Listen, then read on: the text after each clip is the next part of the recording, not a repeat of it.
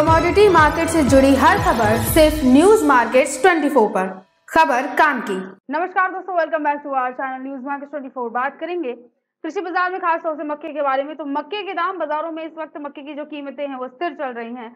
हालाँकि व्यापारी इसमें ज़्यादा मंदा मानकर नहीं चल रहे हैं। मक्के का जो व्यापार है, हरियाणा की जीन लाइन में, वो चौबीस सौ रुपए प्रति क्विंटल की दर से हो रहा है। हालाँकि मार्केट के उतार चढ़ाव की जानकारी और मार्केट का ट्रेंड जानने के लिए जुड़े सुबह साढ़े नौ बजे live news market twenty four पर अजय सिंह के साथ। डिस्क्रिप्शन में दिए गए लिंक पर क्लिक करके अभी ज्वाइन करें। हालाँकि मक्के में ज़्यादा आपको मंदी देखने को नहीं मिलेगी और बाजारों में पोल्ट्री उद्योग के साथ ही निर्यात मांग बनी रहने की उम्मीद है जिसकी वजह से मक्के कीमतों में आने वाले समय में तेज़ी आ सकती है।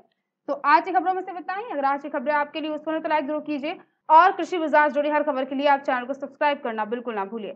मिलते हैं आपसे अगली खबरों के साथ। तब तक के लिए stay healthy stay safe thanks for watching bureau report news market twenty